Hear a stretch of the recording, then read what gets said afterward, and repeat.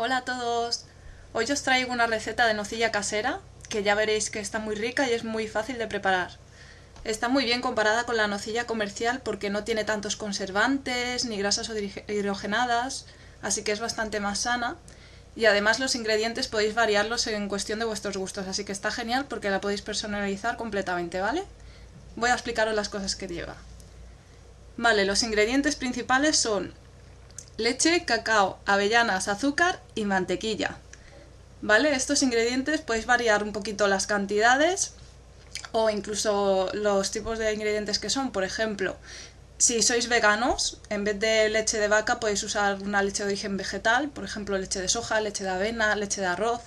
Y la mantequilla pues cambiarla por una margarina que sea también de origen vegetal, ¿vale? Luego también lo que podéis hacer, el chocolate, en vez de cacao, en vez de usar cacao en polvo, podéis usar chocolate con leche, chocolate blanco, chocolate negro, chocolate de postres, ¿vale? Podéis hacerlo a vuestro gusto. Y luego también podéis variar, por ejemplo, la cantidad de avellanas, ¿vale? Las cantidades que os voy a explicar es para un botecito bastante pequeño, porque yo recomiendo que cuando hacéis una receta nueva y no sabéis muy bien el gusto que va a tener o si os va a gustar mucho, pues probar pequeñas cantidades hasta que encontréis vuestro gusto y hacerlo así ya, ¿vale? Vale, pues vamos a empezar con la preparación. Primero de todo, vamos a empezar con las avellanas, que las tenéis que poner en un bol y aquí tenéis que pesar las cantidades encima de una balanza, ¿vale? De estas electrónicas. Entonces ponéis el bol, lo encendéis y empezamos con las avellanas.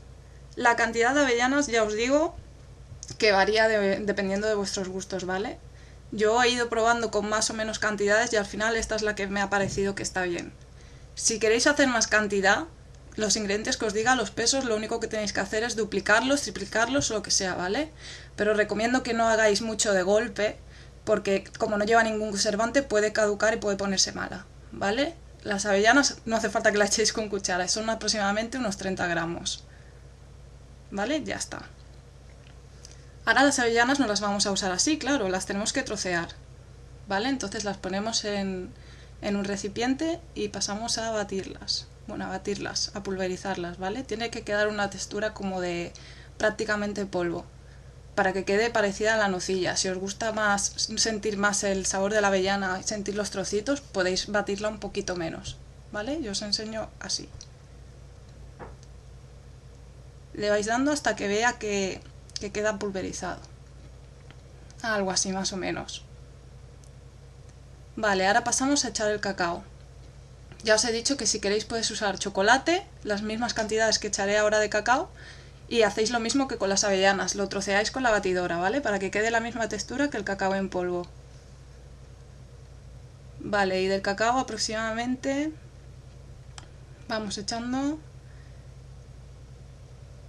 y ahí lo veréis ahora que son aproximadamente unos 50 gramos, ¿vale? Poquito más, poquito menos. Ahí está. Ya podemos irlo echando al cazo, ¿vale? Echamos el cacao y las avellanas que habíamos dejado aparte antes también en el recipiente, también podemos irlas echando ya en el cazo. ¿De acuerdo? Aquí está el cacao. Y ahora podemos echar también las avellanas.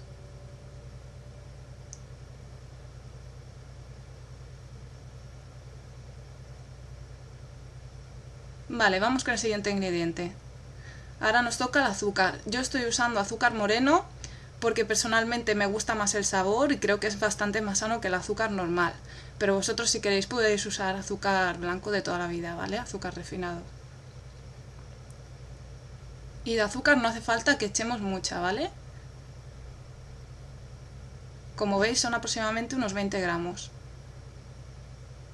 Lo echamos también al cazo Y ahora echaremos la mantequilla. La mantequilla es lo que le va a dar cremosidad a, nuestra crema, ¿vale?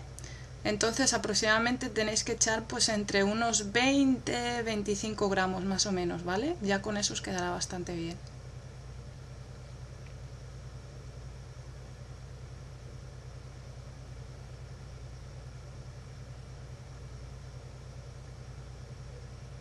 Ahí está, más o menos entre eso, 20-25 gramos aproximadamente.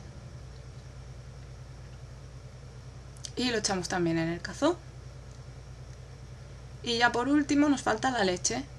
¿De acuerdo? Este día estaba yo un poco torpe, pero bueno, se me caía todo un poco.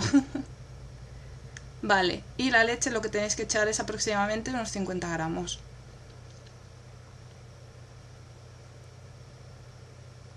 Y limpiarlo todo bien, lo que ensuciéis, claro. Por eso me veíais a mí con el trapo. Y ahora ya tenemos todo en el cazo, ¿de acuerdo? Ahora ya es el momento de encenderlo, fuego lento, os lo pongo a cámara rápida para que no os aburráis. Y tenéis que estar unos minutitos dándole vueltas, ¿vale? Ya veréis la textura que quedará al final que es como de crema, pero no es tampoco muy espesa, ¿vale? Ya acabará de espesar en la nevera cuando lo metamos unas horas, ¿vale? No os preocupéis. Vamos mezclando poco a poco. Y aprovecho para explicaros que si tenéis Thermomix, podéis hacerlo también en la Thermomix, ¿vale? Las avellanas las picáis unos segundos a velocidad 6 o 7 aproximadamente y luego los dejáis, lo mezcláis todos los ingredientes, lo metéis todo en el vaso y lo dejáis aproximadamente 4 o 5 minutos a, a temperatura media, ¿vale? Como veis, esta es la textura que tiene que quedar. Veis que ya está cogiendo consistencia. Más o menos así os tiene que quedar, ¿vale? Vale, ahora ya pasamos a echarlo en el botecito, que ya veis que no es muy grande.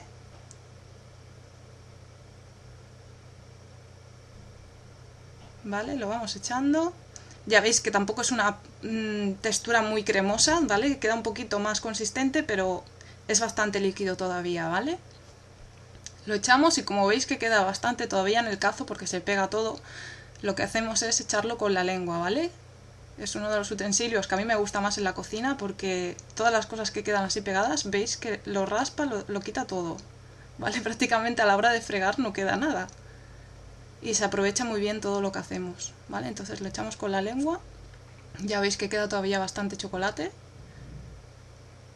y para adentro también.